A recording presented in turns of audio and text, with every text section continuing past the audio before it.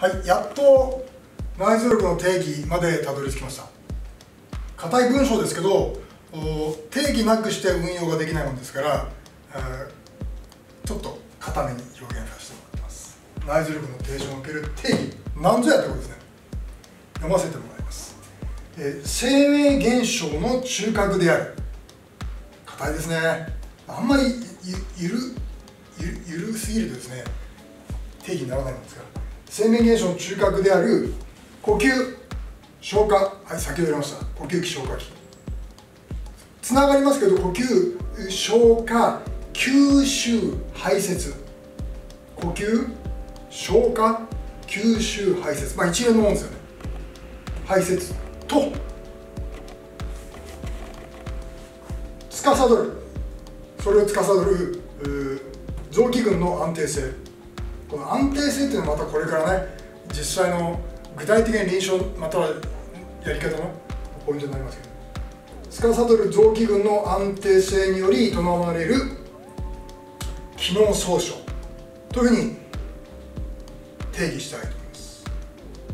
ちょっと硬い言葉ですけどね、えー、全然ええ加減に考えてるわけではないと。いうことでしかも曖昧でもないですよということであえて硬くビシッと定義始めましたもし、え、これからこう皆さんが運用されることになった場合にはぜひこの言葉この概念考え方用語を使ってもらえればありがたいなということです。当然我々もこれを中心にしてこれからの具体的な方法やり方につながっていくわけです。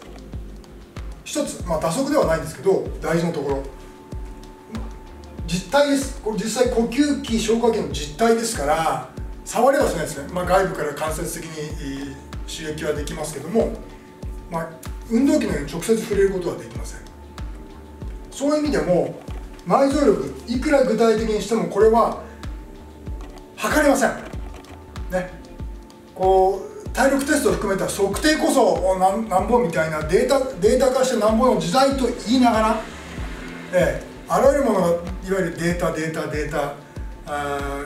スポーツサイエンスみたいなことでもちろん運用されてる昨今ではありますがこの内臓力だけはこの数値が何だって数値化することは難しいと初めから言っておきます。せめてそれをつなぐのが例えば血液検査で血液正常のいろんな要素を分析した中で、えー、そのバランスがどうだ値がどうだ高い低いっていう論議はいくらでも成り立ちますけどもちろんそれがある部分内臓力を測る検査する測定するっていうことにもなりますけども我々我々が言いたいところの内臓力の実態っていうのは決してラボ医院医者病院の中での研究検査データ測定検査データだけでは運用できるものではありませんよっていうのは事前に言っておかなきゃいけないですね。じゃあ測らないものはないのかっていうとこれも科学論議になりますから、えー全部が全部測れるわけではない、えー、という前提の中でただ概念として現象として確かにあり古来五臓六腑の中で扱われてきているということ。これを否定している方はいらっしゃらないでしょうから促成できないという